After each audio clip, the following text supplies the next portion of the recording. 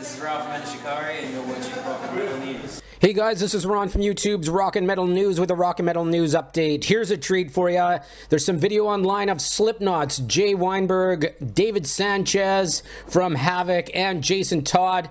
Uh, they're playing uh, some live tracks. You can see Arise and Refuse and Resist live at the Metal Fest, a tribute to Roadrunner Records. That took place September 20th at the Basement East in Nashville, Tennessee.